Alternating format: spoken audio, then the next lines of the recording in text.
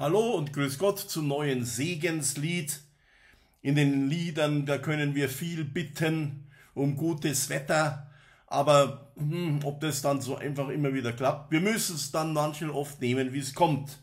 Jetzt am Sonntagabend wäre es natürlich wirklich schön, wenn es schön Wetter wäre, weil wir ja da unseren Gospel-Gottesdienst im freien Open Air singen wollen. Kirche, die auch nach draußen geht.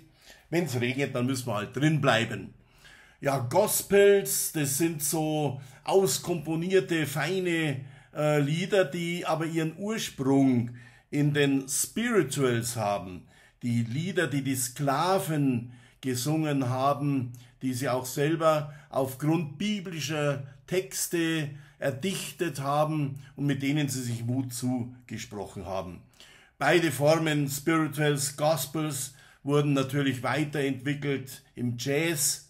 Also das könnten wir alles am Sonntag hören, entweder draußen oder aber in der Kirche. Ein ganz bekannter, den möchte ich jetzt voranstellen, weil der ja manchmal äh, auch ja, im Sport vorkommt, wenn es dann heißt, Oh, when the saints go marching in, oh, when the saints go marching in, then Lord let me be in that number, when the saints go marching in.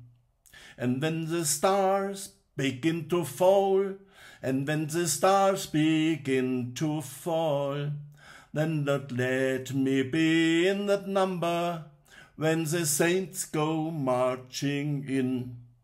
When Gabriel blows in his horn, when Gabriel blows in his horn, then Lord let me be in that number, when Gabriel blows in his horn. And when the sun refuse to shine, and when the sun refuse to shine, then Lord let me be in that number, when the sun refuses to shine.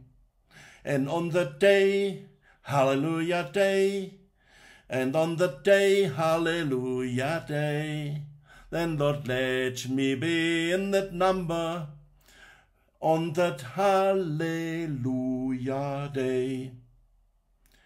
Ja, da geht's ein bisschen auch um die Offenbarung, um das Ende der Welt. Lass mich dabei sein, wenn's in den Himmel hineingeht, wenn sich das Reich Gottes vollendet. Möge alles gut mit uns ausgehen, das ist mein Wunsch für dieses Wochenende, für die kommende Zeit, für die Sommerferien, aber natürlich auch für die ganze Welt und eure Familien. Und dazu segne, behüte, schütze uns alle, der lebendige und mitgehende Gott der Vater, der Sohn und der Heilige Geist. Amen.